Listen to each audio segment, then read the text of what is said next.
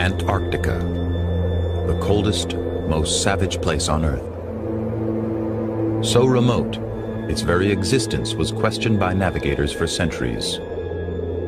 Even after it was discovered in 1820, it remained for decades terra incognita, a land unknown. But by the beginning of the 20th century, the age of Antarctic exploration had taken hold, and the continent was being visited by a growing number of expeditions. Much research was being done, and there was a growing competition to be the first to reach the heart of the interior. One of the main competitors was Robert Falcon Scott. This was his hut, a place quite literally frozen in time.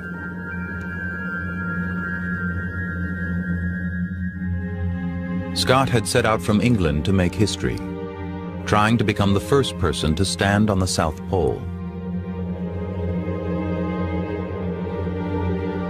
He reached his goal, but when he arrived, he found that a Norwegian team had beaten him to it.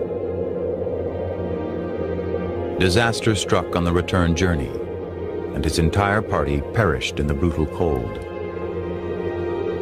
Scott's final haunting diary entry shook the outside world. Had we lived, I should have had a tale of the hardihood, endurance, and courage of my companions, which would have stirred the heart of every Englishman. These rough notes and our dead bodies must tell the tale. For years after his death, Scott was regarded as a hero, a British icon who had shown courage and nobility in the face of insurmountable odds. But as time went by, critics began to question his aptitude, calling him an ill-prepared adventurer whose bad judgment had cost his team their lives. He was portrayed as irrational, consistently inept, a heroic bungler. I signed on to some extent to the legend of Scott the Bumbler when I first went to the Antarctic. But that legend just doesn't stand up against reality. Not when you get to know these guys, not when you look at the facts of what happened to them. Climatologist Susan Solomon has spent years in Antarctica studying the ozone layer. She became interested in Scott's story after a visit to his hut. Questioning the popular theory of his incompetence, she decided to try and find out what had really gone wrong on his expedition. Her conclusions were startling, for rather than confirming his mistakes, she revealed evidence of Scott as a careful planner with a deep faith in science. Ironically, it was this very faith that would lead his team to disaster. They planned so scientifically, they tried to figure out how they would put what resources they had and what nature would normally be expected to throw at them together and be able to succeed. And they would have succeeded in a normal year.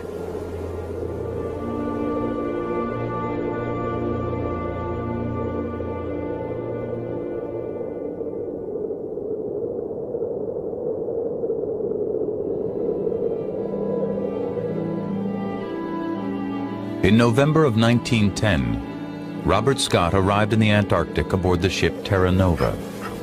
He established his base camp in a hut at Cape Evans, and on November 1st, 1911, after a year of preparation, he set off for the pole. Two weeks later, Scott and his party of 16 men, 10 ponies and 22 dogs arrived at a location 150 miles inland.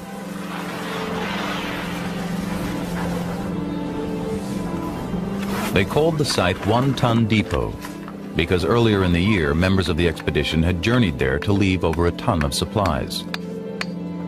One ton was to be the springboard for their assault on the pole and a safety valve for their return.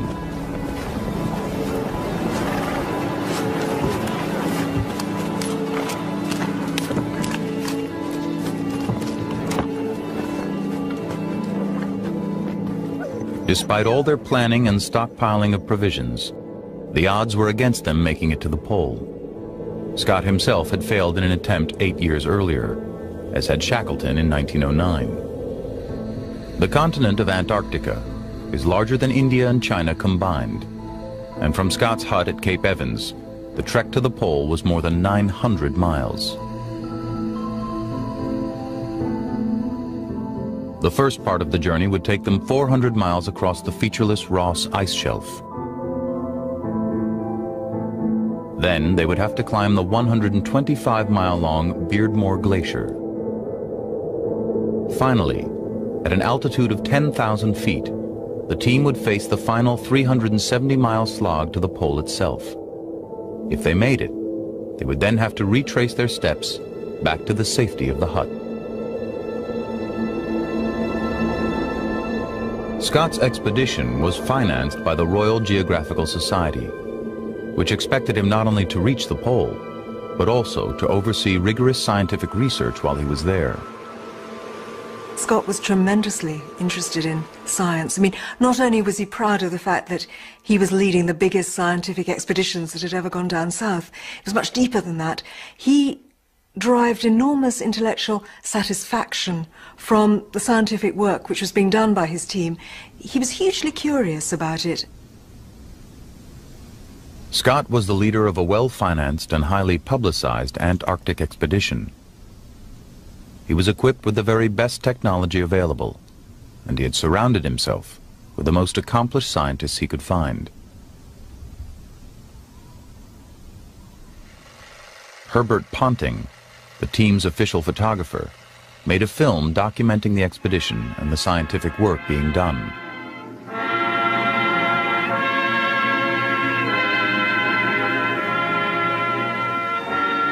Outside the hut, Lieutenant Evans would spend hours with his telescope, making astronomical observations. An intensely cold job, which demanded stoical quality. Among others, the presence of meteorologist George Simpson was featured on the film. Inside the hut, the meteorologist Dr. Simpson had a vast collection of scientific instruments for studying weather conditions. Surgeon Atkinson did research work with his microscope. Simpson, nicknamed Sunny Jim, became indispensable to Scott. He was responsible for recording and analyzing the Antarctic weather and Scott respected him immensely. The feeling was mutual. Simpson said that he had never met anyone who had the scientific spirit so utterly unalloyed. All of the scientists particularly admired him. Uh, they all talked about him as being someone who could get to the nub of any scientific question immediately. But later critics of Scott claimed he had made irrational decisions. These claims did not sit well with Solomon who discovered much evidence to the contrary. Wherever she looked, she found signs that Scott had been a meticulous planner. The scientific method seemed to be at the heart of his preparations. Captain Scott used to spend a lot of his time in his little den writing up his journal and working out plans for the journey to the pole, for every detail had to be carefully thought out beforehand. Scott devised a careful plan Knowing that it would be impossible for the men to carry all their supplies with them, he had ordered a series of earlier journeys into the interior to stockpile provisions along the route. For transport across the ice shelf, Scott chose ponies because Shackleton had had success with them two years earlier. Dogs and motorized tractors would provide minimal backup support, and the ponies would be slaughtered en route to provide food. Once at the Beardmore Glacier, the men would hold their own supplies.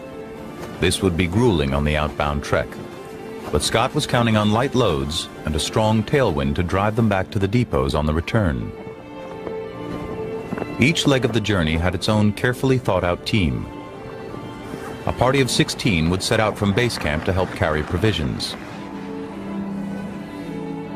At the glacier, half the men in the two dog teams would turn back, while the other eight men continued on. When they reached the plateau, Scott would select three men to accompany him on the final leg. Timing would be crucial. In order to beat the onset of winter, the team had to be back at Cape Evans by the end of March. Scott had thought through every detail. How many units of food the men would need per day, how many miles they would have to average on the polar plateau and on the ice shelf. For Solomon, there was nothing sloppy about Scott's preparation. I think Scott tried to plan the journey to the pole very much as a scientist and as an engineer, in a sense. He tried to figure out what it would take and how he would do it. That's very much, I think, the modern way. It's, in a sense, he was a man ahead of his time. As they approached the top of the Beardmore Glacier, the excitement began to grow. They were nearing the end of the second leg, and it was almost time for Scott to pick his final team for the actual assault on the pole. It had been 40 days since they left One Ton Depot, and the going had been difficult. A blizzard had delayed them near the base of the glacier, and the ponies had struggled through the heavy snow. But Scott had pressed them to make up time, and they were now back on track. The team had finished with the ponies and was now relying on manhauling. Each 800-pound sledge was pulled by a team of four men. In addition to his race against winter, Scott had another reason to push the pace. On the way to Antarctica, he had found out that Norwegian explorer Roald Amundsen, who had lost his bid to become the first to the North Pole, was now trying to beat Scott to the south. Scott realized that actually it was going to be a race between the two of them and that Amundsen could very well get there before him. But at the same time, he tried to push that out of his mind because he was, I think, just as interested for much of the time about the scientific achievement that he hoped would come from his expedition, the work that his team that he was taking down there was going to do. Above the Beardmore, Scott was feeling confident. At the last minute, he decided on a polar party of five, instead of the four he had originally intended. Perhaps he wanted to reward as many as possible, for the hard work they had done to reach that point. Scott's critics regard this change as a crucial mistake. But Solomon is convinced that while it may have led to discomfort, it was not a big enough gaffe to derail the expedition. The problem with having five men uh, had in part to do with the fact that it took longer to cook for five than four. Scott uh, confessed that. It was a big problem. It took a half an hour more. The tent was really too small for five men. Uh, somebody would get kind of pushed off the floor cloth on, on, onto the edge of the, of the tent. That's obviously not a good situation. Um, so for, for many reasons, having five instead of four was a mistake, but I don't think it would have been a fatal one.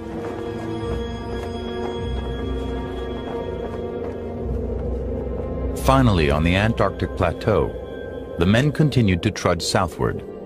Their spirits were high, but they were beginning to grow tired after nearly 60 days of marching, dragging their sledges behind them. On January 9th, they passed the southernmost point reached by Shackleton in 1909. They were now walking on virgin ground. Scott was still confident. It is wonderful that two long marches would land us at the pole. We left our depot today with nine days' provisions, so that it ought to be a certain thing now. Scott had good reason to anticipate success. His team was making excellent progress, and he was impressed with the men he had chosen for the final push. Edmund Wilson the expedition's chief scientist, was a doctor and a talented artist, and Scott's best friend. Henry Bowers, nicknamed Birdie for his prominent nose, was known for his exceptional stamina.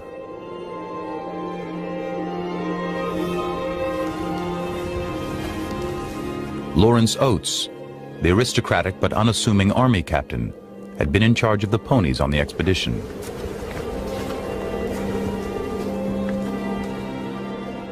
And Seaman Edgar Evans. He was the strong man of the group. By the middle of January, the men had covered nearly 900 miles. They had climbed 10,000 feet up a glacier strewn with crevasses, and they had survived on rations of dried meat and lard. Now, they were approaching their final destination.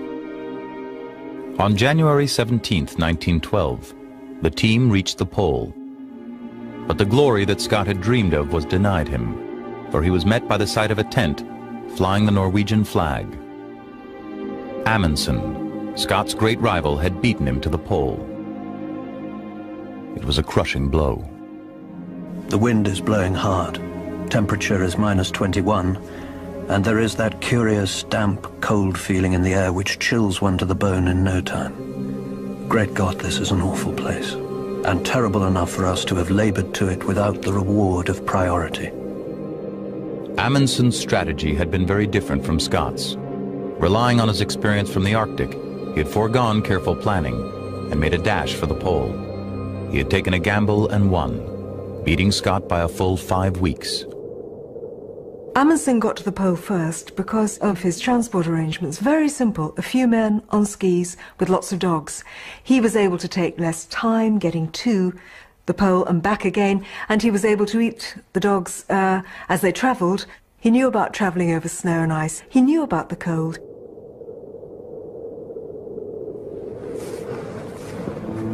They had not been first, but Scott's men planted the British flag and then began the long journey home. Scott's preparations had served them well, and they believed they would quickly make it back to the safety of the coast, even though Edgar Evans was beginning to have problems with frostbite.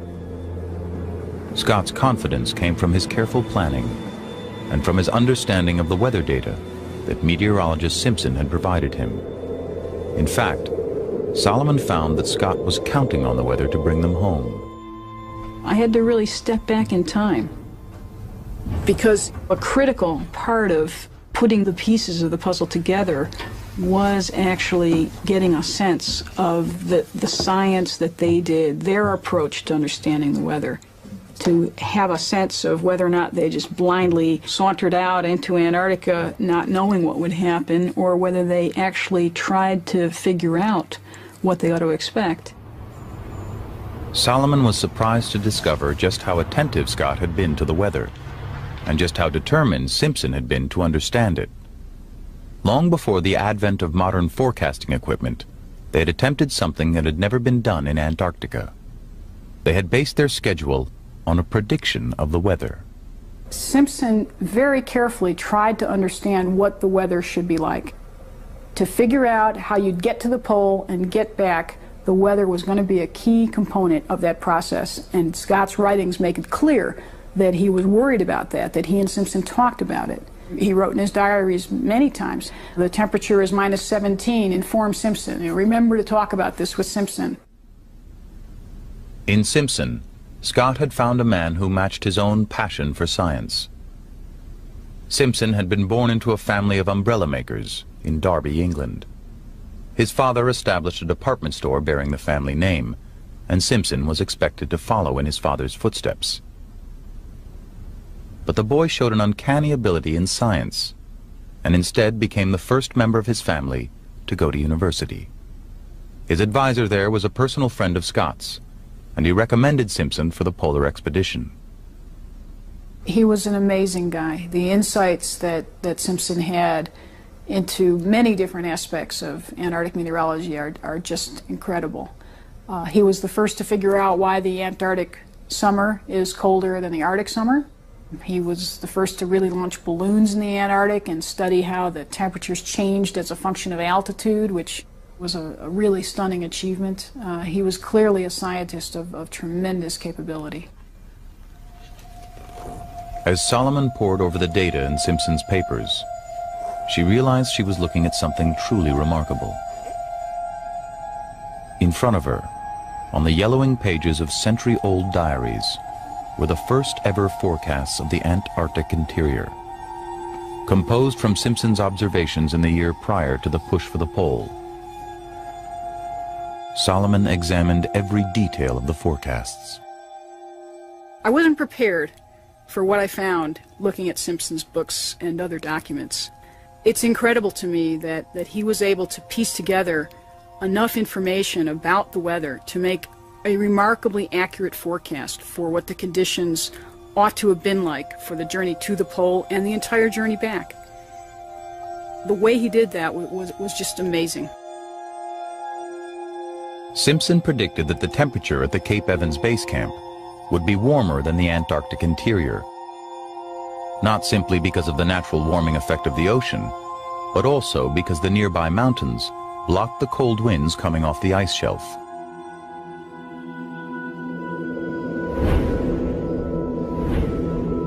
He built a weather station just above the hut, where readings of temperature, wind speed, and wind direction were taken on an hourly basis. To get data from the interior, he trained the men to take temperature readings three times a day on every one of their depot supply journeys. By comparing the records from the depot trips with the corresponding measurements from Cape Evans, Simpson came to the conclusion that throughout the year, the ice shelf was consistently 20 degrees colder than Cape Evans. From his findings, he was able to forecast the temperature on the ice shelf for every month of the polar journey. Simpson's approach was years ahead of its time, but it remained to be seen how accurate his predictions really were. Over the last 20 years, technology has allowed modern scientists to learn a great deal about Antarctica's weather patterns. One of the most powerful tools in this quest to unravel the continent's secrets is a network of automated weather stations that gather temperature, wind, and other meteorological data every day of the year, sending it via satellite to labs around the world.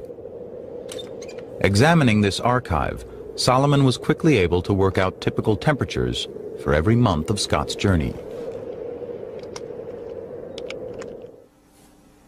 When she compared her modern results to Simpson's 1911 predictions, she was amazed to discover that Simpson's forecasts were never more than three degrees off. How cold would it be at the pole in January? He figured that out. How cold would it be on the ice shelf? How cold would it be on the last part of the journey? He had all of that nailed to, to a T. When Scott left the pole, he was relying on Simpson's forecast for the return journey. He had planned his schedule around the temperatures he knew he could expect, and so far, everything had gone according to plan.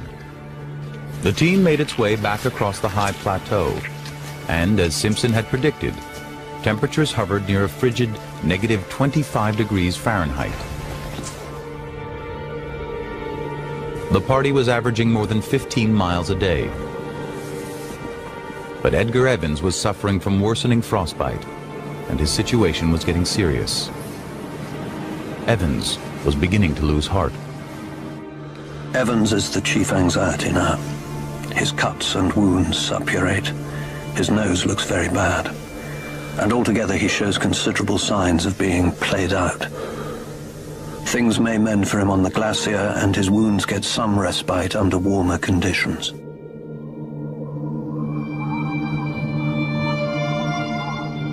The men's spirits rose when they arrived back at the Beardmore. But on the way down, Evans sustained a severe head injury when he and Scott fell into a crevasse. Scott had hoped the warmer temperatures on the ice shelf would help Evans recover. But after the accident, his situation began to look hopeless. His comrades encouraged him to push on, but two weeks later, Evans collapsed. I was first to reach the poor man, and shocked at his appearance. He was on his knees with clothing disarranged and a wild look in his eyes. We got him on his feet, but after two or three steps he sank down again. He showed every sign of complete collapse. Wilson, Bowers and I went back to the sledge while Oates remained with him. When we returned, he was practically unconscious and we got him into the tent quite comatose. He died quietly at 12.30 a.m. Frostbite had taken its toll, but Wilson, the team doctor, documented the cause of death as brain damage. Evans had been done in by a freak accident, something no amount of planning could have prevented. There was nothing the team could do but bury him and move on. With Evans gone, the men quickened their pace. The day after they buried their friend, Scott, Wilson, Oates, and Bowers approached their resupply depot near the base of the glacier. They were finally back on the ice shelf. Here, stockpiles of food and fuel awaited them. At last, the frigid temperatures of the plateau were supposed to be behind them. Simpson's forecast called for strong tailwinds and much more moderate temperatures. They were still 400 miles away from Cape Evans, but they expected the worst was behind them. The very first night that they regained the barrier, Scott talked about how they've had a good night's sleep for a change because it was so nice and warm. They weren't even worried when they got back down to the Ross Ice Shelf. At that point, they thought they had it made. For the next six days, everything went according to plan. But on February 27th, the temperature suddenly dropped to a brutal 37 degrees below zero. This was far worse than anything they had experienced on the plateau. For the first time, a hint of uncertainty entered Scott's writing desperately cold last night. Pray God we have no further setbacks. We may find ourselves in safety at next depot, but there is now a horrid element of doubt. The doubts did not let up. Brief periods of such bitter cold were manageable, but for days the thermometer refused to budge, only once rising above negative 30. The men were stunned by the unexpected weather. Wilson and Bowers had survived worse temperatures on an earlier research expedition, but never for this long, and never after four months of exhausting manhauling. It's not just the fact that it was cold. It was cold for three and a half straight weeks. You probably can't appreciate what the impact of that is on the human body unless you've actually been through it. Those kind of temperatures are absolutely killing. Scott's carefully laid plans were in tatters, and the lives of his men hung in the balance. The staggering cold had thrown his schedule into disarray, and everyone was nearing exhaustion. The sledges became harder and harder for the straining men to pull. The surface, lately a very good, hard one, is coated with a thin layer of woolly crystals. These are too firmly fixed to be removed by the wind and cause impossible friction on the runners. God help us, we can't keep up this pulling. That is certain. Normally, friction from the sledge melts a thin layer of snow that lubricates the runners as they slide. But below negative 20, the snow remains crystalline and grips the runners tightly. Sir Ranulph Fiennes, a polar explorer who pulled a sledge across Antarctica in 1993, knows all too well what Scott and his men had struggled with. We developed a real feeling for the problems that Scott faced from day to day with the, the variety of snow surfaces and temperatures. If you want to practice it, you want to get two six-foot fat men, put them into a bathtub with no legs, and pull them for in his case 1600 miles over sand dunes. That's the friction that you actually get. There's no sliding. But even as the conditions got worse, Scott made no effort to lighten the load. It is a decision his critics have often cited as a clear indication of his incompetence. Three weeks earlier, the party had spent a day collecting 30 pounds of rock samples on the plateau. So when the going got rough, why didn't Scott dump the extra weight? Fiennes says lightening the load would have made little difference. Pulling sledges is a very unpredictable thing. You can halve the load of a sledge and have bad snow and go slower than the full load of the sledge with good snow. So the great thing about putting a few rocks, 30 pounds of rocks on their sledges, wouldn't have made much difference. They weren't stupid. They weren't going to keep them on the sledge if it was really killing them. They could have just depoted them and come back for them the following year. What was killing them wasn't the, the weight of the rocks, it was the friction of the snow. The unyielding surface had a devastating effect on their progress. Instead of averaging 15 miles a day, they could barely manage three and a half. At this rate, they would never make it back to Cape Evans in time to beat the onset of winter, when temperatures would drop to an unsurvivable 50 below. To make matters worse, the tailwind that Scott had been expecting, another crucial element of Simpson's forecast, was also failing to materialize. Hope for better things this afternoon, but no improvement apparent. Oh, for a little wind. On the previous journeys back from the depots, the teams had erected sails on the sledges when the wind began to blow from the south. Scott had calculated this added advantage into his plans, so without it, his team was in even more trouble. The wind had aided them before, but this time, the air stayed bitter and still. The surface remains awful. The cold intense, and our physical condition running down. God help us, not a breath of favorable wind for more than a week. The elements were unyielding. They were trapped in a condition we now call a temperature inversion. The reflective surface of the ice loses energy rapidly, creating a layer of cold air sandwiched between the ground and a warmer layer above. Only wind can bring the warm air back down to ground level. But for Scott, the wind refused to arrive. When it's windy, it's actually warm in the Antarctic. I know that sounds terribly counterintuitive, but, but many of the warmest days you'll have down there in Antarctic winter have just enough wind to keep things stirred up. Frigid temperatures and no wind had left the team with little hope. They were now relying on sheer force of will to get them home. But the situation was still getting worse.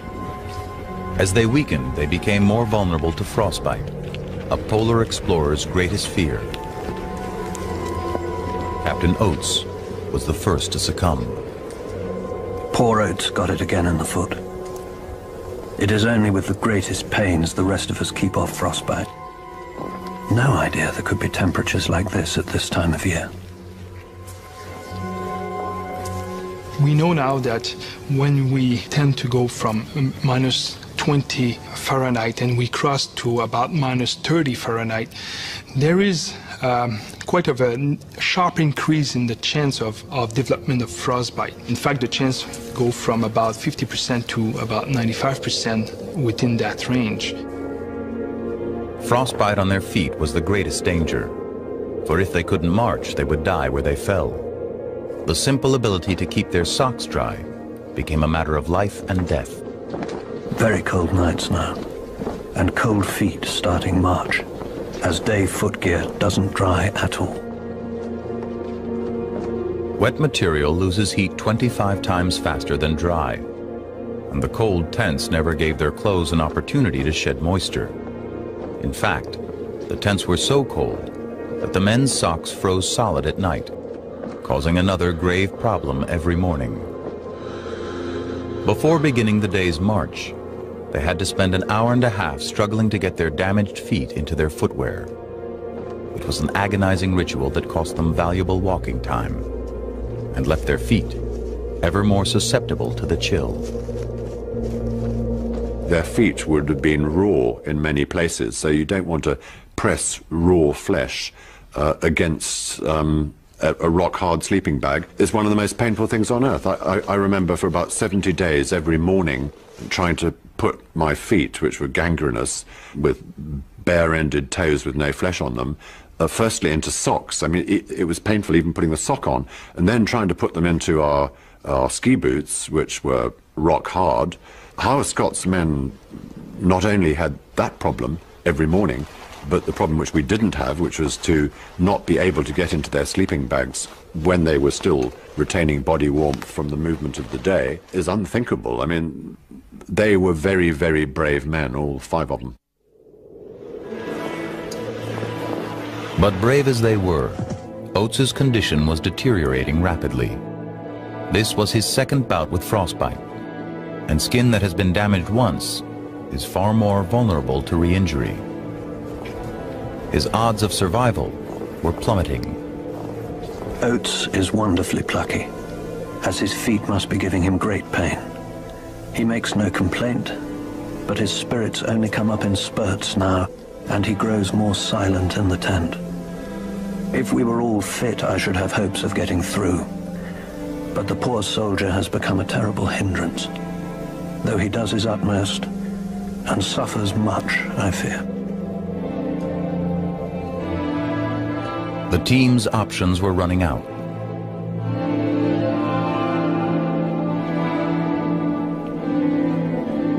On March 10th, Oates asked Wilson whether he had any chance of pulling through. The doctor said he didn't know. In point of fact, he has none. Apart from him, if he went under now, I doubt whether we could get through. The weather conditions are awful, and our gear gets steadily more icy and difficult to manage. The party had endured 13 days of temperatures below negative 30. In such conditions, water freezes in under a minute. Fingers bond instantly to metal. Humans exist here at the very margins of survival. Oates is very near the end, one feels. He is a brave fellow and understands the situation, but he practically asked for advice. Nothing could be said but to urge him to march as long as he could. A few days later, Oates requested that Scott leave him in his sleeping bag. He said he could go no further and knew he was holding the rest of them back. His companions begged him to rally, and he relented, but the cold was quickly overcoming him. Three days later, with the temperature now negative 43 degrees Fahrenheit, Oates took matters into his own hands. Oates slept through the night, hoping not to wake but he woke in the morning. It was blowing a blizzard. He said, I'm just going outside and maybe some time. He went out into the blizzard and we have not seen him since. Poor Oates was walking to his death, but though we tried to dissuade him, we knew it was the act of a brave man and an English gentleman. We all hoped to meet the end with a similar spirit, and assuredly the end is not far. Their group was down to three, but only 160 miles separated them from the safety, warmth, and food at Cape Evans. If the cold broke and they could increase their daily mileage, they might still have a chance. 11 miles a day would mean only two more weeks on the ice.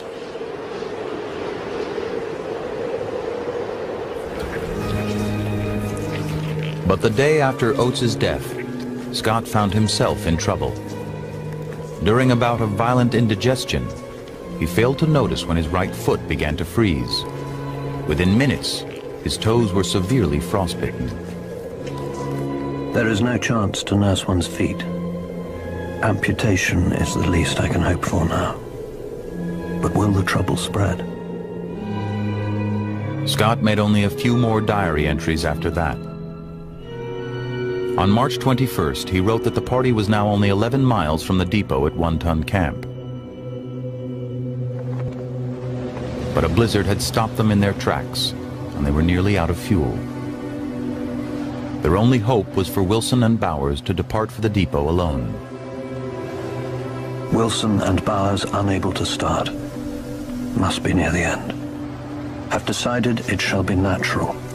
We shall march for the depot with or without our effects and die in our tracks. But they never marched again. In his last diary entry, dated March 29th, Scott wrote that the blizzard had raged for 10 days, keeping them trapped in the tent. I do not think we can hope for any better things now. We shall stick it out to the end. But we are getting weaker, of course, and the end cannot be far. It seems a pity, but I do not think I can write more. For God's sake, look after our people.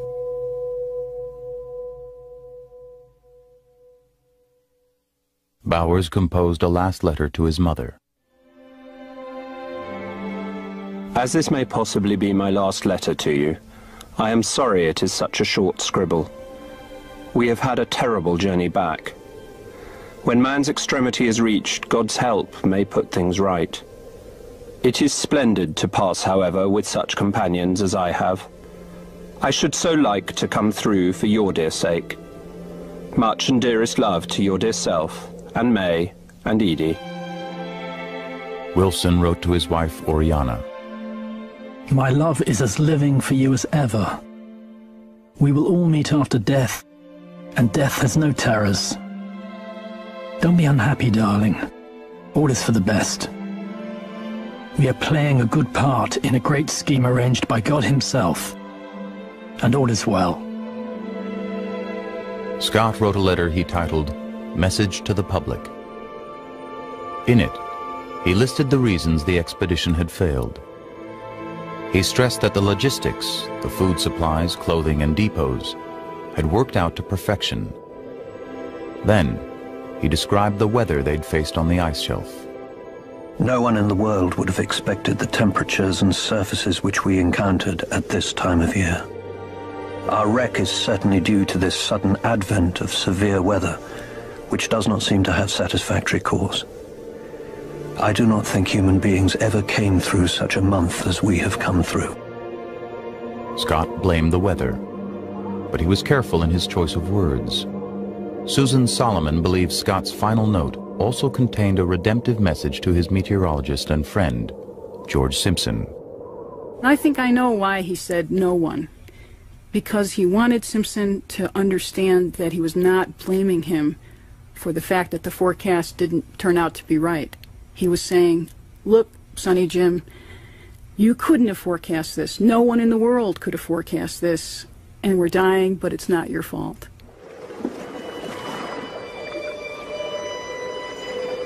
Prior to his departure, Scott had briefed the support teams that the Polar Party would return to Cape Evans by late March. As the days turned into weeks, the 13 men back in the hut grew increasingly worried.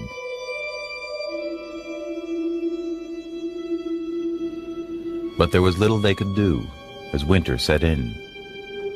April became May, and the sun sank lower and lower on the horizon, enveloping the continent in another long, cold, Antarctic winter. It was another six months before a recovery team could set out across the ice shelf. After two weeks of searching, one of the men saw the tip of Scott's tent sticking out of the winter snow. The search party recovered the men's diaries and letters. Scott's favorite hymn was sung, and the commanding officer read some of their last words aloud. Then they removed the tent poles and allowed the canvas to shroud their lifeless comrades' bodies. They built a large snow cairn and erected a cross, then headed back to Cape Evans.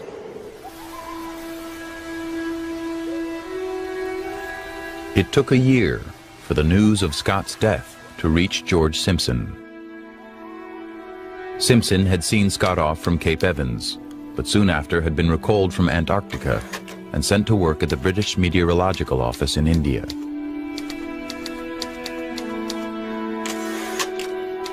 He found Scott's death extremely difficult to deal with.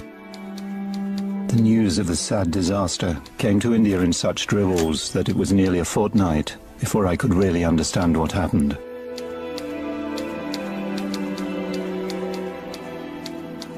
I could not have imagined that the sad news would have affected me so much.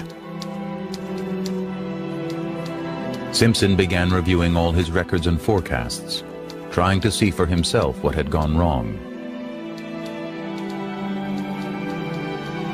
Was it a mistake he had made, or had Antarctica dealt them an unwinnable hand? At some level, I'm sure he blamed himself. I'm sure that he asked himself, well, you know, could I have done it better? What did I miss? How did I screw up? And he had to be asking himself those questions, and therefore he was driven, I'm sure, by a sense of tremendous sadness over the fact that these men had died and that he had, in some way, played played a role. Six years later, Simpson published the first of a painstaking three-volume study on the meteorology of Antarctica. In it, he concluded that the temperatures recorded by Scott's party on the ice shelf in March 1912 were nearly 40 degrees colder than those at Cape Evans. It was a difference he knew was not typical. 1912, he theorized, must have been an abnormal year, but he didn't have the data to prove it. Simpson absolutely nailed it. He not only figured out what the weather should have been like for the polar party, but he also looked at what they actually experienced and understood how unusual it was. He figured out that they would have made it back in about 9 out of 10 years. Turns out he was a little conservative. It's more like 15 out of 16. I mean, I don't think you have to be a scientist to be stunned by that, to be in awe of that man's insights. Nearly 90 years after Simpson's forecast, Solomon was able to prove that his work had been perfect. But she had the benefit of the modern weather stations with their constant measurements, while Simpson could only rely on his more crude readings. His forecasts were stunningly accurate, but in the end, they made no difference. 1912 was such an aberration, there is no way Simpson could have predicted it. To see that, that this man correctly predicted what it would take for those men to survive, what they ought to have had in terms of very survivable weather on the way back, and that he died not knowing that he was right was an incredibly moving and, and, and really quite um, important experience for me. It, it almost drove me to tears. Simpson's work was ahead of its time, and no one picked up on his conclusions about the disaster. He moved to London soon after he published his findings, which were so dense and technical, few could understand them. He soon buried himself in other work. He'd lived in his study, had a big study in, in that biggish house that we lived in there. And he simply stayed in there all the time and didn't come out except to eat a meal, that sort of thing. And um, I used to go in as a child to kiss him good night on my way to bed, but then he didn't even always look up and notice. And I remember coming out saying, Daddy doesn't love me, because um, I simply hadn't been able to get any response out of him at all. Simpson presented his views about the role of the weather in Scott's death only once, in a scientific lecture he gave in 1923. Then, he never spoke publicly about it again. Simpson was a very meticulous and careful scientist, and I think he would have been reluctant to talk about the weather as an issue very much because he couldn't prove that it was unusual.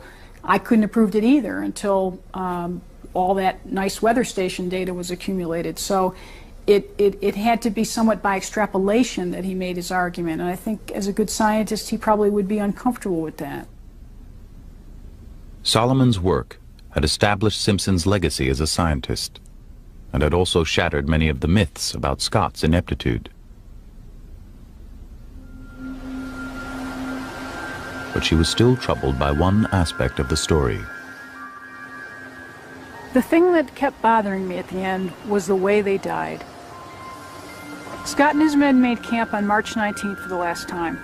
They never left it. March 29th is the date of Scott's last diary entry. It's been thought that a blizzard is what kept them in the tent for 10 full days. But if you've been to that part of the Antarctic, you know that blizzards just don't last more than two or three days. And if they had a 10-day blizzard, my, my God, they had the blizzard of a century. And then suddenly I realized that it actually couldn't have happened. Scott's own men provide the observations that, that show that there was no blizzard. Two men, Atkinson and Keohane, went out onto the Ross Ice Shelf to look for Scott and Bowers and, and Wilson. They didn't go very far, but they were experiencing light winds, temperatures of 0 to minus 17, perfect weather for, for keeping on going. This was on March 27th. So on March 27th, or maybe even before, the wind had already stopped. That made clear that the reason that the three of them stayed in the tent was not a meteorological reason. It had to be a human reason. And that, I, I realized, was probably the fact that Scott's foot was very badly frostbitten Wilson, who was a doctor, wrote to his parents that Scott could scarcely walk. He didn't say anything about a blizzard in that letter to his parents. He said that he loved them, that he would see them in heaven, and that the captain just couldn't go on. And so I believe that Wilson and Bowers decided that they simply couldn't accept going on without him, and they perhaps misled him into thinking that the blizzard was still raging. Bowers had tremendous loyalty to Scott. He wrote to his mother that I am Captain Scott's man and will stick by him right through. Wilson, who, who was a doctor, had talked about if he were ever with a sick companion, he would not be able to abandon that companion, no matter what.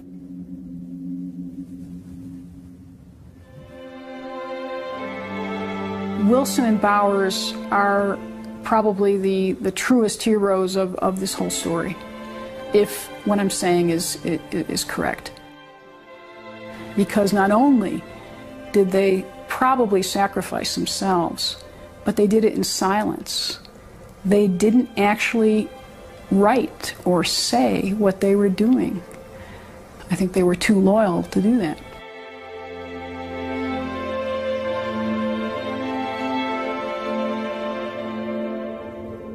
Scott would not have known what his comrades had done for him. But in his final hours, he revealed how highly he thought of them. He wrote letters to their families, making sure they would know how decent each had been. To Bowers' mother. I write when we are very near the end of our journey, and I am finishing it in company with two gallant, noble gentlemen. One of these is your son. As the troubles have thickened, his dauntless spirit ever shone brighter, and he has remained cheerful, hopeful, and indomitable to the end. My whole heart goes out in pity for you. To Wilson's wife. If this letter reaches you, Bill and I will have gone out together. We are very near it now, and I should like you to know how splendid he was at the end everlastingly cheerful and ready to sacrifice himself for others. I can do no more to comfort you than to tell you that he died as he lived, a brave, true man, the best of comrades and staunchest of friends. We can never turn back the clock, but I think it's highly likely that if Scott had survived, his legacy would be viewed quite differently. He still certainly wouldn't have been the guy who got to the pole first, but he would have been the leader of a great scientific expedition, an expedition that even today is, uh, is viewed as a cornerstone of Antarctic science. He was a man of incredible ability. He uh, was a man who could inspire a lot of loyalty. Then I think we just have to admire what he did. These rough notes and our dead bodies must tell the tale. For years after his death, Scott was regarded as a hero, a British icon who had shown courage and nobility in the face of insurmountable odds. But as time went by, critics began to question his aptitude, calling him an ill-prepared adventurer whose bad judgment had cost his team their lives. He was portrayed as irrational, consistently inept, a heroic bungler. I signed on to some extent to the legend of Scott the Bumbler when I first went to the Antarctic. But that legend just doesn't stand up against reality. Not when you get to know these guys, not when you look at the facts of what happened to them. Climatologist Susan Solomon has spent years in Antarctica studying the ozone layer. She became interested in Scott's story after a visit to his hut. Questioning the popular theory of his incompetence, she decided to try and find out what had really gone wrong on his expedition. Her conclusions were startling, for rather than confirming his mistakes, she revealed evidence of Scott as a careful planner with a deep faith in science.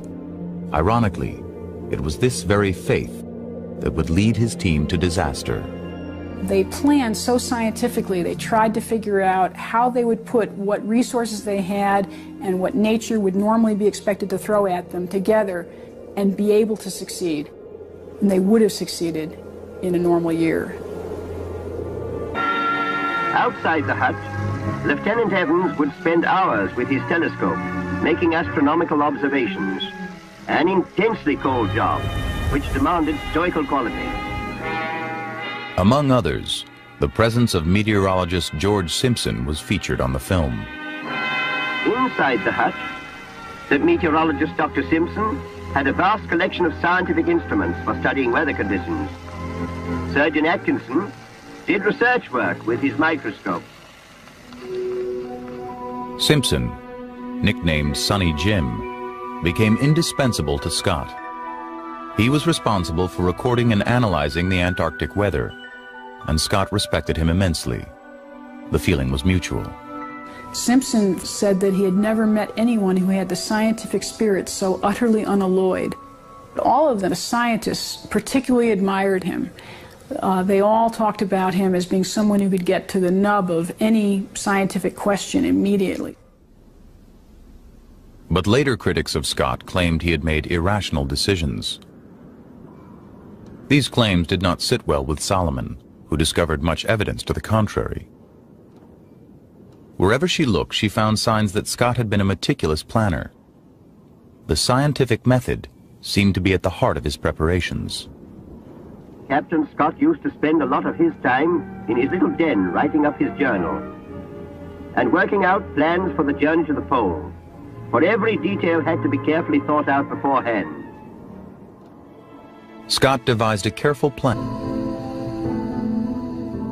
The first part of the journey would take them 400 miles across the featureless Ross ice shelf. Then they would have to climb the 125-mile-long Beardmore Glacier. Finally, at an altitude of 10,000 feet, the team would face the final 370-mile slog to the pole itself. If they made it, they would then have to retrace their steps back to the safety of the hut. Scott's expedition was financed by the Royal Geographical Society, which expected him not only to reach the pole, but also to oversee rigorous scientific research while he was there. Scott was tremendously interested in science. I mean, not only was he proud of the fact that he was leading the biggest scientific expeditions that had ever gone down south, it was much deeper than that. He derived enormous intellectual satisfaction from the scientific work which was being done by his team. He was hugely curious about it. Scott was the leader of a well-financed and highly publicized Antarctic expedition. He was equipped with the very best technology available, and he had surrounded himself with the most accomplished scientists he could find. Herbert Ponting the team's official photographer, made a film documenting the expedition and the scientific work being done.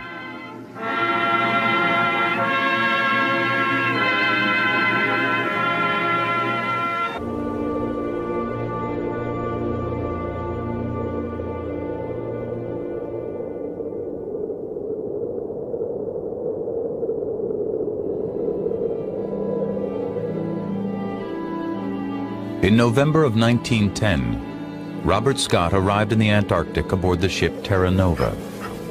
He established his base camp in a hut at Cape Evans, and on November 1, 1911, after a year of preparation, he set off for the pole. Two weeks later, Scott and his party of 16 men, 10 ponies and 22 dogs arrived at a location 150 miles inland.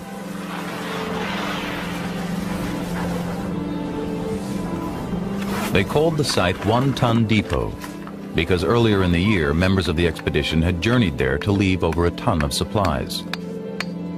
One ton was to be the springboard for their assault on the pole and a safety valve for their return.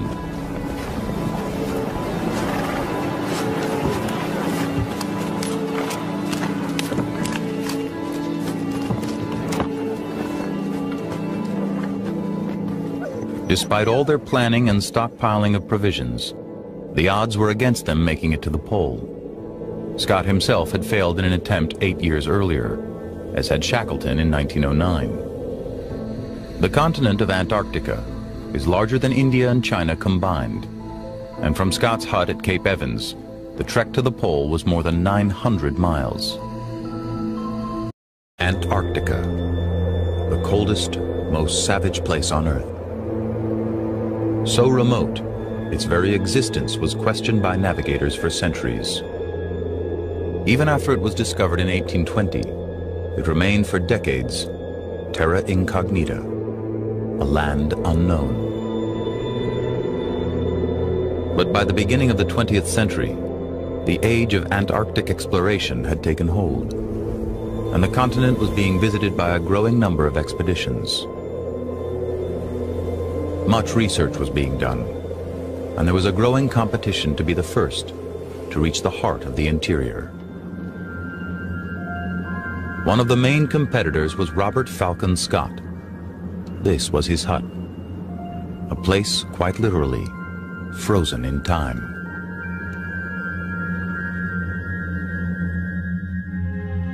Scott had set out from England to make history, trying to become the first person to stand on the South Pole. He reached his goal, but when he arrived, he found that a Norwegian team had beaten him to it. Disaster struck on the return journey, and his entire party perished in the brutal cold. Scott's final haunting diary entry shook the outside world.